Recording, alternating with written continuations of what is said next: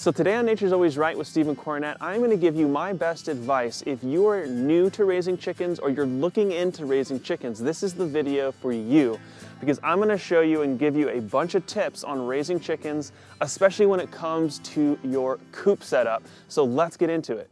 So if you're considering buying versus building your own chicken coop, this is a really great option. And what I have here is a dog kennel. This is an eight foot by four foot kennel.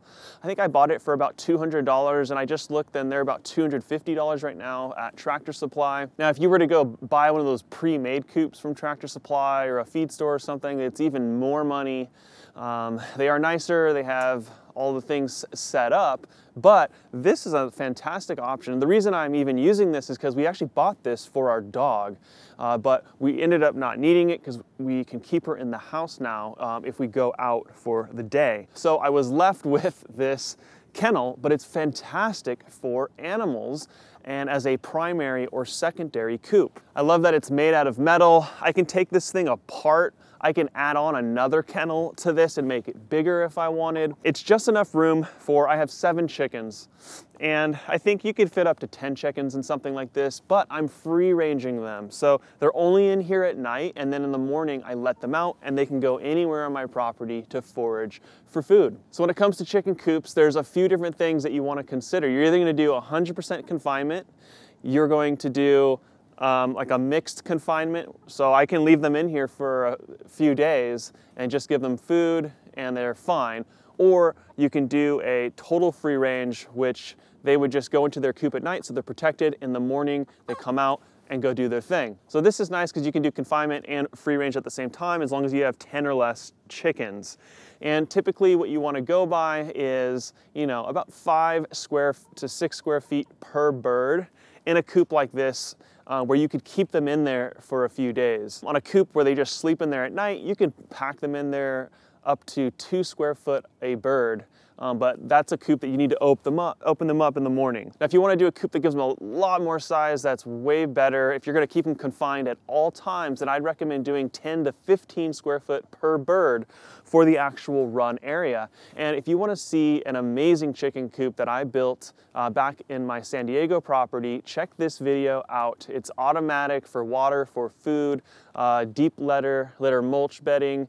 Um, it's the ultimate. Like I there's basically no changes that I would even make to that coop, even to this day, um, after raising chickens for over six years, I would make to that coop. So, um, but that was an expensive coop to make. It took me a ton of time to build it. This, you can buy it, set it up, and you're ready to go.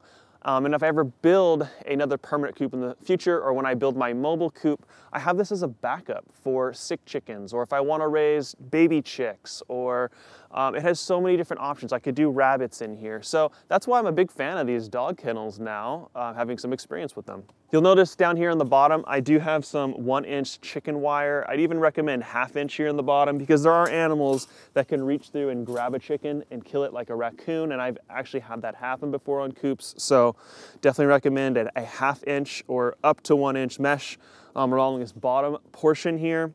Uh, for their roosts, all I did was jam a couple small logs through the cage here. Free, simple.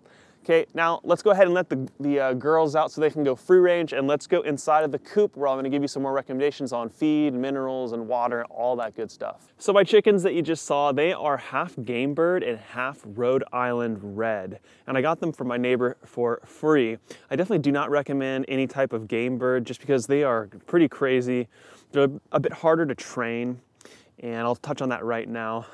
When you start a new chicken coop or you get new chickens, if you don't raise them from chicks, let's say you buy them as layers, they're already laying eggs or close to that, you're gonna have to get them used to this new coop and teach them that this is their home and this is where they sleep. So what I recommend doing is just keeping those uh, chickens in their coop for three, four days.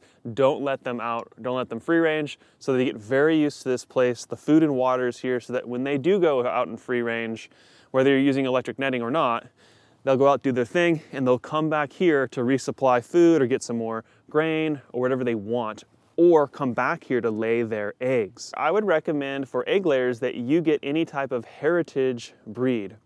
They have good instincts. These are breeds that have been around in the United States um, for at least 100 years, I believe, most of these breeds.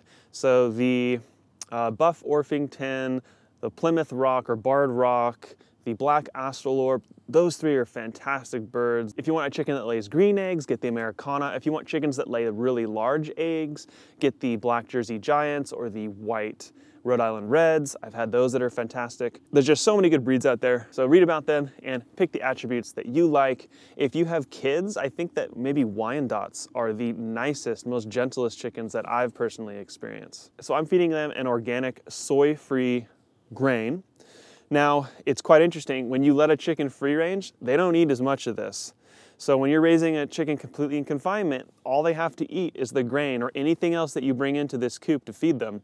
Uh, so if you want to dramatically reduce the cost of your feed, increase the nutrition and health of your birds, I highly recommend free ranging, period. You should always do it if you're able to. Now, you might be in a situation um, like an apartment or small backyard, um, and in that case, that's okay, don't worry about it.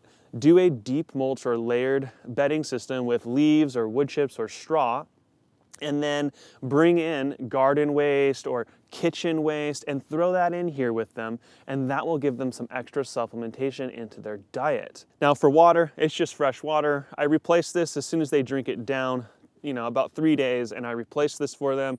I rinse it out, I clean it, and then I would clean it with vinegar, you know, every couple months, just like it gets algae and gross. And, you know, you're just trying to prevent any diseases that might happen for your chickens.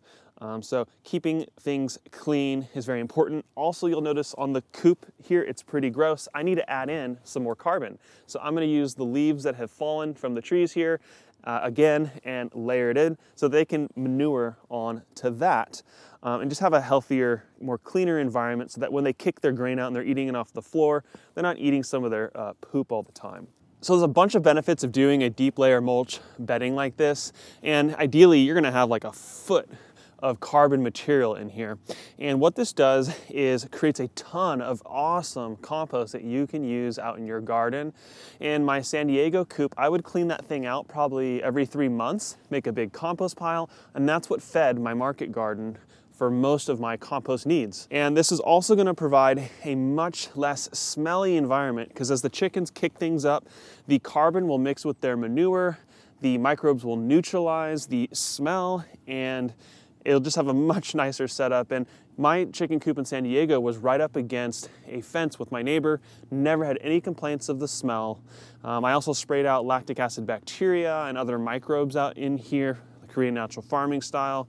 That's another way to increase the health of your chickens as well as help to break down the smells and this manure into really amazing soil. So whether you're doing a 100% confinement or partial confinement like I'm doing, I always recommend that you add some type of carbon into your chicken coop. Another thing that you need for your chickens is some chicken grit. Uh, which is in the form of small rocks. You need something that has calcium carbonate. So whether that's uh, oyster shells or uh, dead coral, uh, you can also uh, use their uh, eggs you can crunch those up and then feed those eggshells back to them. They can get their calcium from that, but it just increases, um, the eggs will have a very hard shell and that's a, quite different from store-bought eggs. Also inside of here, I like to give my chickens and all my animals uh, kelp, sea salt, so they have access to that um, and they can kind of pick and choose what they want, increasing mineral content, whether that's for the soil, for humans, for animals, uh, dramatically increases our health and all of the systems of our bodies work better. And what's so amazing when you raise your own chickens, and if you've ever had a truly organically pasture raised egg, maybe from a friend or something, crack that egg next to a 99 cent dozen from Walmart and I want you to look at those eggs and tell me there's not a difference and taste them and tell me there's not a difference because it is quite shocking when you see that golden yolk versus that pale yellow it breaks when you drop it in your pan egg. So um, the amount of nutrition from chicken eggs is immense. I eat eggs almost every single day. And uh, once these girls start laying, I'm gonna start eating raw eggs and incorporating that into my diet um, every single day. It's just a nutrient powerhouse, one of the most uh, beneficial foods, in my opinion, that uh, you could be eating for your diet. So now let's quickly talk about where are they gonna lay their eggs. So for collecting the eggs, I'm using a rollaway nest box And in the past, I've built them. Um, one really great way to build a cheap one is just you get some milk crates, put some straw on the bottom of that, and that's it. They'll lay in those. Um, I wanted to get this to just experiment with it and experience it and to uh, have cleaner eggs uh, once they lay them. Because if if you're using like the standard setup where it's just flat, sometimes they can end up pooping on the eggs and you have to clean them more and stuff like that. So to avoid that, um, I'm gonna try this. Now, a nest box should be up a little bit higher than this. I just never put something in here to make that happen because I'm working on a mobile chicken coop right now. My chickens are not old enough yet to lay. They're almost there. They're very close to their, you know, probably six month mark where they're gonna start laying their eggs. Um, so I don't know how well this works yet, even on the ground. Um, but there's a couple suggestions for you for your nest box. So I think the last major thing to recommend to consider is do you want just hens or do you also want a rooster? Now, when I was living in San Diego, I lived in a suburban area. I was actually allowed to have a rooster according to the city, but I've got neighbors all surrounded by me, my landlords, and um, so I didn't want to have that noise for them. But here, I want a rooster. Um, and there's a few reasons for that. One, the rooster is prey protection as well as a uh, food finder. The rooster will go out, look for things, and he will call the girls over to them if he finds some good worms or whatever he may find. He's also looking around for predators even more than the hens are and will alert them um, if there is something. So he provides a small amount of protection for them.